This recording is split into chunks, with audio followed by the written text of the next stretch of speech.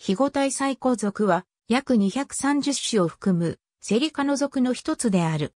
中央アジア、地中海地方、南北、アメリカなど世界的に広く分布しているが、日本には自生種はない。園芸上はエリンギウム、エリンジウムなどと総称されることが多い。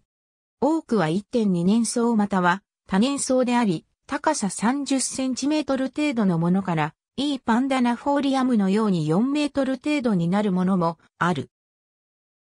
多くのものは、アザミのような複雑に深く切れ込んでしばし生えが市場になる葉を持つが、いいユカフォーリアムなどのように、ユカのように細長い帯状の葉を持つものもある。花は白や青の多数の小花が球状、または円筒状に集まった頭状果樹であり、果樹を囲む差しのある双方の形は種ごとに多様である。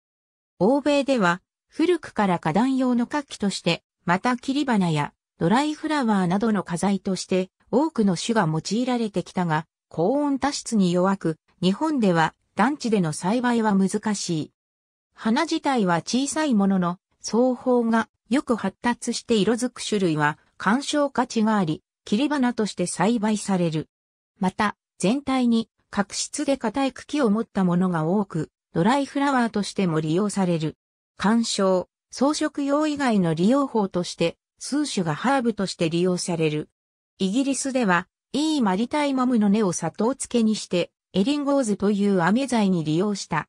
オーバコエンドロは、ラテンアメリカやアジアで広く、ハーブとして利用されている、いいマリタイマムのように根や、若葉などを食用とするものもある。ありがとうございます。